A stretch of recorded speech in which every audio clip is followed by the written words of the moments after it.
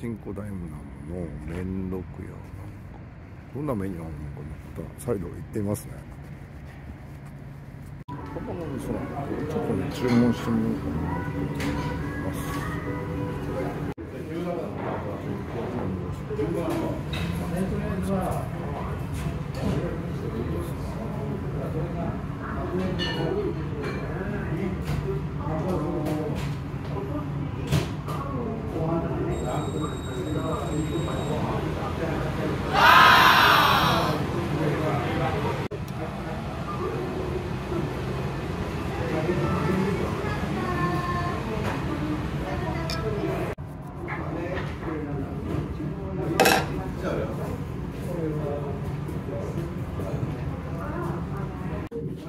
はい、ここからちょっとナレーションにしますね。入れますね。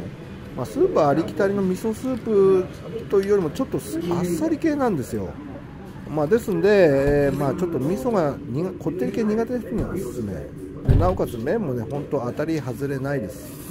まあ、ラーメン屋さんって主にですね、スープと麺があれば、まあ、オーバーの表現誰でもできるっていうくらい、本当おみラーメンっていうのはね、やっぱ簡単で、やっぱりそれで奥が深いっていうのね、感じますね。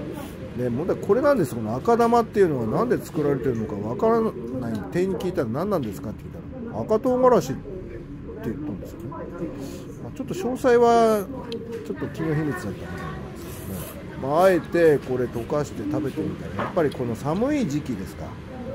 外から出て入ってきて、えー、こういうねちょっと辛いものっていうのはやっぱり食欲そそりますよね。はい。多分豆板醤じゃないかな。はい。やっぱグッドです。美味しいです。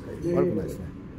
でメンマもねもう当たり障りない。本当ラーメンっていうのはあのまあ、シンプルでいろいろ付け加えることによって、まあ、食べる楽しみって増える。と思いますやっぱこうスープ辛いっていうのが後を引くっていう、まあ、この時期ならではですね。チャーシューも結構大きいってねいう方いましたけど、まあ、850円ですから美味しかったです。ありがとうございます。